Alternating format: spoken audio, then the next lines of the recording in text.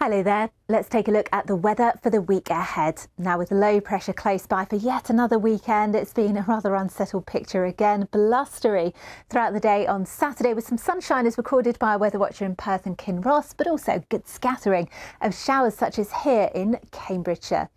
And as we head through Sunday, it's a quieter looking day, still windy for the time of year, but not as blustery.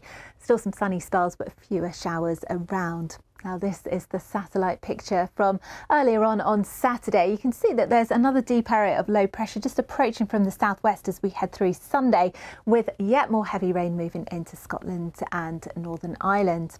But this is how we'll start the day on Sunday on a largely dry note. It's also mild out there as well, temperatures between 14 and 16 degrees. Still a keen southwesterly wind, but not as blustery as it was on Saturday. And there will be a good scattering of showers too, but they won't be as heavy or as thundery as they were on Saturday. Still possibly a rumble or two of thunder across the Moray Firth, and there'll be further spells of rain moving into Northern Ireland and parts of Western Scotland by the end of the day. Top temperatures in East Anglia, where it will tend to be driest and brightest, 23 degrees Celsius. But this is the position of the rain on Sunday night into Monday morning. That's going to be moving northwards and eastwards across much of Wales, southwest England, central southern England, and into northern England too. It could be that Scotland sees a largely dry day, scattering of showers out towards the east, some heavy and thundery, possibly mostly dry for Northern Ireland, and lots of dry weather too across East Anglia and the southeast of England, although still the risk of some showers here. As we head through Tuesday, that deep area of low pressure is pushing off towards Scandinavia and high pressure starts to build in, but still various fronts waiting out in the Atlantic. They will be stalled.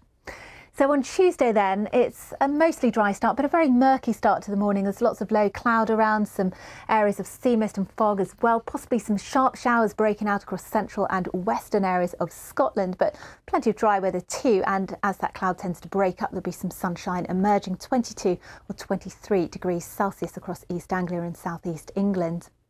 And then on Wednesday, high pressure is centred towards the north of the UK. That's going to be pushing further eastwards, low pressure out in the Atlantic again. But of course, it's been stalled by that high pressure. It's another murky start to the day.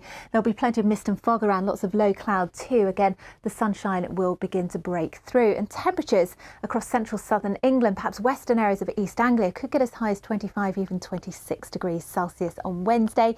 And it's looking pretty similar again on Thursday. Again, there could be a few showers around. There will be some low clouds to start the day. Temperatures pegged back towards North Sea facing coast too, with perhaps a bit of sea mist around. So just the high teens here. We'll start to see some rain approach Northern Ireland by the end of the day. This is the position of the jet stream as we head through next week. Some debate about how far north it will be, but it's drawing in, of course, this air from southern Europe. So it is going to start to feel a little warmer across southeast England and possibly southern Wales as well, staying unsettled and cooler further north towards the north of the jet stream. But across Cardiff, we could see temperatures rise into the mid 20s, possibly the high 20s across London and the southeast, and then cooling down somewhat over the weekend. Bye bye for now.